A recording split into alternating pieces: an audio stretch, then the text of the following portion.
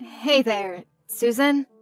Sorry to bother you, but I was just curious if you knew where I put my pen case. I know that I had it on my desk when I left work yesterday, but I haven't seen it all day since arriving this morning. Good morning, Pearl. I'm really sorry to say, but I have no idea where that could be. I see.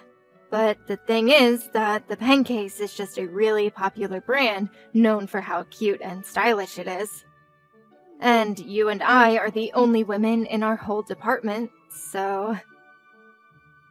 I just really can't see why anyone but you would be interested in taking it.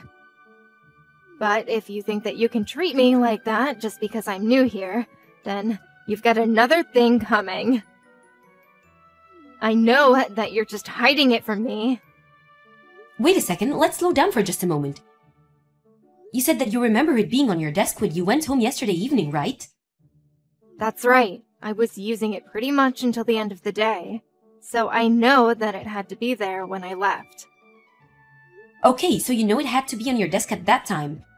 The only thing is that I actually left for a business trip in the afternoon was probably up in the air, but the time you were leaving the office yesterday. Oh, wait, you had to go on a business trip? Yep, I had to fly all the way to New York, so it wasn't like I could pop back into the office anyways. Oh, well, I had no idea that you were on a business trip. Well, I take it that you're at the office right now, yes? So why don't you just ask others who are there if they've seen it, and not to worry about whether it was a guy or a girl who took it? I mean, we've all been there. When we need a pen and can't find one. I have a mug full of pens that are free for people to take just in case something like this happens. Oh, right. Well, I guess I'll just use one of those for now. That's no problem. Anyways, I'm about to start a meeting up here, so we'll talk later. Susan, is it true that you're really going to be getting married? Oh, wow, I guess the office grapevine works quite quickly, doesn't it? But I thought that you were already like 45 years or something like that, right? You mean to tell me that you've never been married before now? Is everything alright? What do you mean, is everything alright? I'm afraid I don't understand. I mean, this guy isn't like some scammer or something like that, right? well, I certainly hope not. I would be in quite a bit of a trouble if he was. But I heard about this on the news once.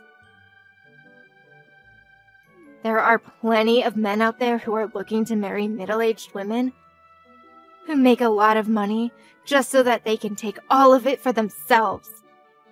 Are you sure that you're not being targeted for something like that right now? I really, really don't think that there is anything to be worried about my marriage. Thank you for offering your concerns, though. I think things are going to be just fine, though. In fact, the man that I'm going to marry is someone that I've known since I was in my 20s, and is very close with my family. In fact, we've basically been dating for the past decade or so. But due to various circumstances, we were never able to actually get married until now. Wow, I had no idea any of this was going on for you at all, Susan. Well, I don't like to talk about my private life too much at work. I wasn't trying to hide anything from anyone, but no one ever asked about it, so I didn't see any reason to announce it either, although the bosses and management here knew about this for some time. I see, I see. Well, thank you so much for explaining all of that to me. I really appreciate it. Sure thing, you seemed very worried for me, so I just wanted to lay those to rest. Hey Pearl, are you there? You do know that the workdate has already started, right? Are you going to be late today as well? Well, well, well. If it isn't Miss Susan. That's right, I'm going to be late, actually. But I'm working on a different project for my career right now. A different project? I don't understand. What are you talking about? I mean that I found a way to climb the corporate ladder in this place. And so I've been given a very important role that I'm fulfilling. I'm sorry, but I'm still not following at all. I don't remember hearing about anything like that. And I doubt that someone still going through their trial period at the company would be given any sort of extra important assignment. Well, I suppose that just goes to show what you know, huh? Because of the fact of the matter is that I'm special and you're not. And just what is that supposed to mean, huh? Listen, Susan, I'm going to go ahead and take the rest of the day off, and you can take over for my projects today. I'm sorry, but you do realize that by acting this way, I'm going to have to make a comment that will be brought up at the end of this trial period, right?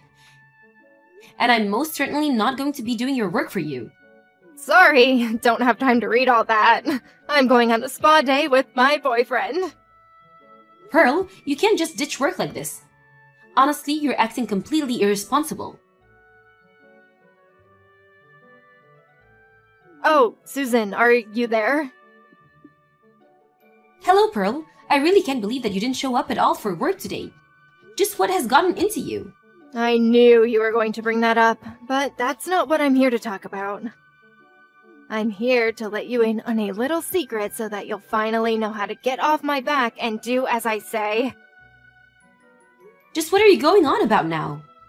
Well, the boyfriend I mentioned is actually none other than Brian Colehouse. Wait a second. Brian, as in the CEO's son, Brian? That's right. The very one and the same. So, when I say that I'm away on special duty or need some time off, I don't want to hear any gripes from you again.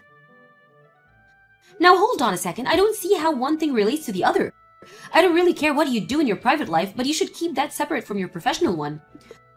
Ugh, you seriously make me so mad. Do you know that? What do you mean? What is wrong about what I'm saying? I mean that you're not getting the point that I'm trying to make, and it's pissing me off. I'm sorry, but I think the one failing to see the important points here is you, Pearl. Oh, and one more thing. I know all about your little secret. My secret? Can you please just start making sense already? I know that you stole some of the money that the company gave you for your business trip and pocketed it. Excuse me? What did you just say? You were so, so close to getting away with it too. It would have been the perfect crime. And just who told you that I did something like that? Brian did, of course. And there's no way that he would be wrong about something like this. Well, he is, because that is just not true. But who would ever want to marry an old woman who steals from her own company? That's why I knew I had to make Brian mine. Again, no idea what you're talking about at all. Well, not only is Brian young and rich and the heir to the company, but he also said that he would fire you when he's in charge. Okay, Susan, I have just about had it all with all the crazy talk. I seriously have no idea where you or Brian are getting your information, but this is just becoming malicious. Oops, I've got to go now. Brian is calling me. We booked a whole week in this amazing spa hotel in the mountains, so I won't be showing up to work until I get back. Now wait just one second. You can't just say all of these things and run off. Enjoy your lonely life, you old hag. I'm so sorry for stealing Brian from you. I still have no idea what you're talking about, Susan. What is the matter with you? I'm back from my vacation. Oh man, Brian and I were all over each other in the steamy hot baths. A week wasn't enough to spend with such an amazing future CEO. And to think that one day I'm going to be his wife. Pearl, I just want you to know that after you send me those messages, HQ sent someone to investigate our branch for embezzlement. Really? They actually showed up to our branch? Does that mean you're finally fired? Brian promised me it would happen when he was in charge, but he acted even faster just to make me happy. My heart is so full. And just know that you have no one else to blame but yourself for being caught in your crime. Actually, someone was fired, and that person was Brian. Wait, uh, what do you mean? You're in the office today, right? I think you should head to the meeting room right away. I don't understand. What's going on? H- hey, what the heck was all of that back there, huh? I don't understand what just happened. I walked into that room and had a job, and now I'm leaving and I'm fired? This isn't right! I was supposed to marry the next CEO of our company. How did this happen to me? Pearl, allow me to correct one mistake that you still don't seem to be aware of making. What do you mean? What mistake did I make? Well, you seem to be under the impression that Brian and I were getting engaged to be married, is that right? Wait a second. You mean that you weren't engaged to marry Brian? But but I thought that everyone in the office told me that you were going to be marrying some future CEO or something like that. And they were correct in telling you that. But the person that I'm going to marrying is the next CEO of one of our important business partners. A business partner? Are you kidding me? That's what I said, and it's one of the largest partners, in fact. You're kidding me! I had no idea about any of this! And another thing that you got wrong the next CEO of our company is not Brian. Wait, what do you mean by that? I mean that I'm sure Brian bragged to you that he was the next in line to take over the company simply because he's the oldest son. But the fact is that the current CEO hasn't decided who is going to be taking over yet. But for now, the most likely candidate would be his niece, who is the regional director for one of our largest branches. So then, in that case, what is Brian in all of this? Well, he's being groomed for upper management, it's true. But for now, he hasn't graduated beyond being just another worker. And he's been in that same position for years now. So I don't know if he'll ever get a promotion. He's been in the same position? For years? And here's another thing that you got wrong. I wasn't the one embezzling, Brian was. Please, there has to be some kind of mistake here. No, I'm afraid it's very true. But if it's any consolation, the CEO did want to thank you for revealing exactly who it was doing all of that. What is that supposed to mean? I didn't even say anything.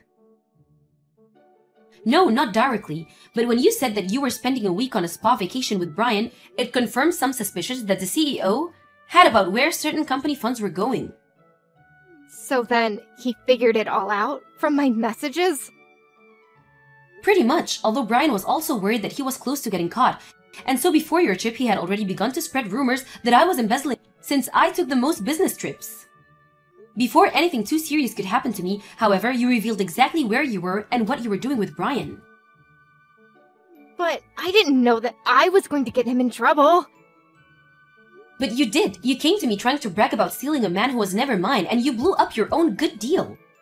No, this can't be happening. I thought it was just a little spa vacation. Well, going on that trip made you complicit in the illegitimate use of company's funds. Not to mention, it's doubled the amount of money spent if Brian has gone on his own. But this is really bad for me, right? I could get in a lot of trouble for this. Why do you think that you were fired in the first place? You and Brian both were. But if Brian was fired, then he's never going to be the CEO. I just told you that it was unlikely he was ever going to be more than he was right now. I warned you that you were still on your trial period with this company, but you thought you could go on doing whatever you wanted. Please, I just need one more chance. I didn't realize what I was doing. Oh, please. We both know that it's way too late for any of that. But why? Well, for one, even though I'm your boss, even I don't have that kind of power. Wait, you're my boss? You really aren't the brightest bulb of the bunch, are you? Anyways, I hope that I've cleared up any confusion for you. Wait, no. Please, you have to help me. Goodbye, Pearl. Following the audit from HQ, Brian was found to have embezzled upwards of $50,000. He was forced to repay the company from his own pocket and was saddled with a huge amount of debt before being fired. It wasn't long afterwards that the present CEO stepped down and handed the reins of power to his niece.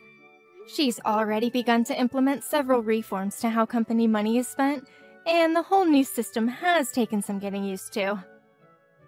As for Pearl, she ended up canceling her engagement to Brian and split the cancellation fees for all the reservations they had made. After her firing, Pearl was forced to take on multiple part-time jobs to afford to live. Thank you for watching. If you like this video, please give it a thumbs up and don't forget to subscribe to see more content like this. Anna? Sorry to bother you. You got a minute? Hey there. What can I do for you? One of our relatives passed away. You remember Bob? Can you come with me to his funeral? Sorry to hear about your loss. Of Course I'll be there. Just tell me when and where. 10 a.m. tomorrow. P Funeral Home. Can you come a little early? Got it. Anna? Sorry, but there were some last minute changes to the venue. We're having the funeral at a different place now. Huh? Uh, okay. But I'm already in front of the funeral home. Sorry, dear. Can you come to Peep Hotel instead? Hotel? Uh, this is a funeral, right? Why hotel? Just hurry. Everyone is here already. You're the only one that's not here. Hurry. Okay. Hey, you there? What's going on? This isn't a funeral. This is a wedding. Where are you? What are you wearing? Unbelievable. Hold on. Explain yourself. Right now. I want some answers. Pick up. Shut up already. I told you it was a wedding. Why are you in your mourning dress? What's wrong with you? What? You said it was a funeral. Just stop it, okay? Come inside and apologize to everyone right now. I'm so embarrassed. Can't believe you're my daughter-in-law. Hey, I didn't have time to talk to you yesterday, but now you have to explain yourself. You said it was a funeral. Why did you do this to me? What? I never said that I told you it was a wedding. Stop trying to blame me for your own mistake. Uh, but I got proof right here. It's right on my phone. You said it was a funeral. Stop denying it. Oh, it was probably a typo. My mistake. Why are you so mad? I didn't do it on purpose, okay? Why do you want to make me the bad guy here? You're a terrible person. This is why I didn't want my son marrying you. I warned him, but he didn't listen. Is that why you're harassing me like this? I don't want to say this, but this is really immature of you. Hey, watch your mouth, young lady. Don't push it. And remember, everyone in the family is on my side. I call the shots around here, not you. Remember that. But you're causing trouble for everyone. Just stop. How dare you talk to me like that? Who do you think you're talking to? Uh, my mother-in-law? Shut up! You're always like this. You don't deserve my son. He can do much better than this. This is all your fault. Stop trying to blame me for it. Ah, What's wrong with you, huh? You're so rude. Didn't your parents teach you any manners? This is exactly why I told my son to not marry you. I think we're done here. There's just no talking to you. Let's just do this another time. Goodbye. Hey, wait. You gotta run away. Answer me. I'm talking to you. Anna, I'm in the hospital right now. I twisted my ankle. It's not that serious, but it hurt. Doctor said I had to be hospitalized for a few days. Oh, okay. Take care. Bye. Hold it. If you come visit me, I'll forgive you for the way you acted last time. Uh, but you hate me, remember? I know, but I'm giving you a chance here. Bring me some melons. I love melons. If you do that for me, I'll forgive you. The food here sucks. Oh, I see. What about your relatives? Are they going to be there too? Of course, they're family. They're all worried sick about me. Unlike you, people like me, okay? But you, I don't know. I don't think they like you very much. This will be a good opportunity for you to make a good impression. You already messed up once, so don't screw up again. Maybe you're right. Okay, I'll see you tomorrow. Hey, what is your problem? Hello? What is it? Did I forget something in your room? Shut up! You did this, didn't you? It had to be you. Why are all my relatives wearing mourning clothes? This is unacceptable. Oh, sorry. I must have misheard you. How you said this was your funeral. My mistake. How dare you? If I'm dead, how am I talking to you, huh? True that. Stop laughing. This isn't funny. You messing with me, huh? I'm gonna tell everyone about what you did. You're out of the family. You're finished, you hear me? You still don't get it, do you? What? What are you talking about? Your relatives. They were in on this. They all agreed to help me. What? Impossible! Stop making things up. I'm not like you, okay? I've been taking care of this family for years now. Yeah, and everyone is getting pretty sick and tired of you. You think I believe that? Stop lying. What's wrong with you, huh? You should be ashamed of yourself. Look who's talking. Right back at you. I met lots of people in my life, but never met anyone like you before. Everyone hates you. What? Why else would they agree to help me? And the thing you tried to pull at the wedding the other day? I talked to your relatives after you left. They all believed me when I told them my side of the story. I didn't even have to show them our text messages to get them to believe me. They were all furious with you, and I don't blame them. I mean, what kind of person does that just to get back at someone? And you ruined a perfectly nice wedding. Hello? You still there? Why aren't you saying anything, huh? Shut up! Oh, there you are. Oh, by the way, I talked to Uncle Todd too. He said he was sick and tired of you. Aunt Mary said something similar. She hates you too. In case you didn't know, she never liked being around you. And Aunt Selma. Enough! She was like, someday, I'm gonna get her back for everything she's done to me. What's the problem?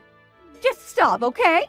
You want an apology? Fine. Sorry. There, happy?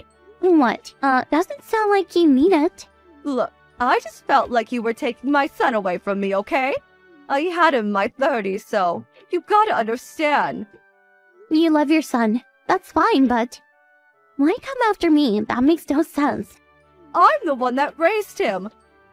But you took him away from me. That's why I was being so mean to you. I was just messing around with you, okay? Messing around, huh? But you caused a lot of trouble for a lot of people. I apologize. Just drop it. I never accepted your apology. And what about the wedding you ruined, huh? How are you planning to make that right, huh? You're out of control. No wonder your relatives hate you.